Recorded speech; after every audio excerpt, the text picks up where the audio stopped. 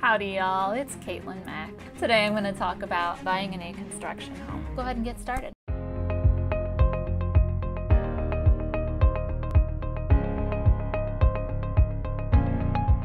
So the first thing would be check the floor plans and the pricing. Make sure it fits what you're looking for size-wise, home style, floor plan. Some people want maybe just a one-story home. Some people like two-story homes. Some people like certain number of bedrooms, maybe need it for a certain amount of kids, or just want the extra rooms for an office, a guest space, whatever the case may be. And floor plan, obviously everybody's got different tastes on floor plans. Some people like the more compartmentalized spaces, some like more open spaces, and there are lots of in-between kinds of homes and floor plans for pretty much anybody's needs. Then you just find out about amenities for a home in the community in the area. Obviously you want to be in the area you want to be in if there's a certain kind of commute you have or anything like that, as well as like this particular community has these kinds of amenities and everything. If that fits for your lifestyle, your family, what you guys want, that's perfect. If it doesn't, sure they have they offer the same model in another community similar. You've researched builder quality and reviews. I don't know why people don't do this enough, but you always want to research about everything. Research the builder. They have tons of bad reviews on something. Look at the reviews and just see if there are things about bad quality, bad building, bad whatever, or if it's just people being nitpicky, or maybe just people that are upset.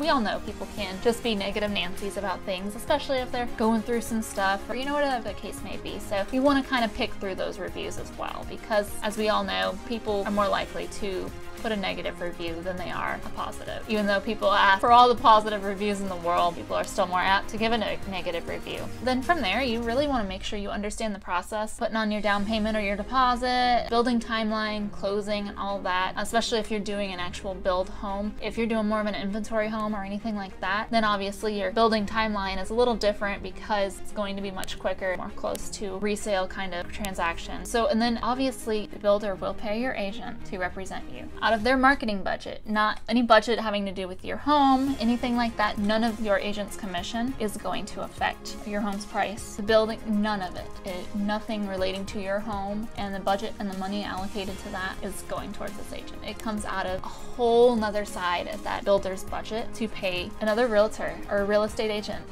to represent you on the buying side of a new home construction transaction. You would be insane not to have somebody on your side to negotiate for you, help you out with things like that with your research, all that good stuff with their expertise, it would be insane for you not to hire an agent because again, it doesn't come out of your pocket. It doesn't come out of any of the money having to do with your home. It comes out of a totally different pocket which is fantastic news for you. So you always want to make sure you hire an agent. You also want to make sure that uh, you negotiate things more like upgrades and law, things like that rather than price. A lot of builders do have a set pricing bracket that they put their homes in to try to keep their values around the same price, not only for the sale then, but for future buyers for sale. Keep that in mind when you are doing your purchase agreement. Maybe negotiate your lot site, your upgrades, a pool, all that good stuff rather than just negotiating the price. Be sure everything you negotiate, make sure this extra upgrade is in writing somewhere because if not, or if your agent doesn't catch it or whoever doesn't catch it, there's no way of really having a paper trail. You, you need to have the paper trail.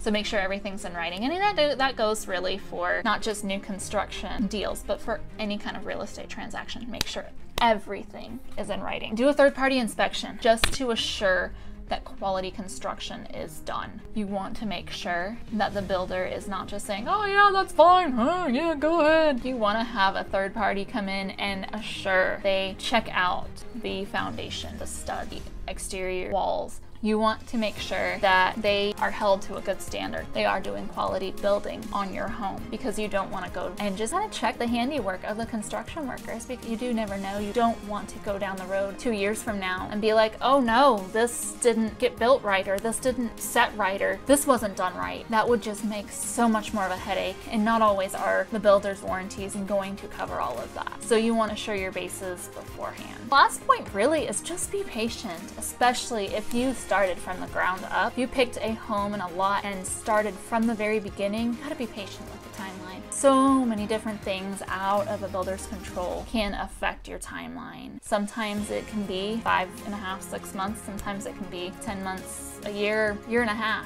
It depends on so many different factors just because of, you know, the way our, our weather is. And sometimes that, that holds timelines back. So you want to always be patient with your builders, be patient with the reps, be patient with the construction workers, be patient with everybody. I promise it will be a smooth thing as long as you're patient and just understanding and just be kind. Make sure you have an agent again to negotiate for you, to help you with your research, to just help you along the process. Again, it doesn't cost you a dime in the beginning or in the end doesn't cost you a dime. So you want to make sure you have somebody on your side.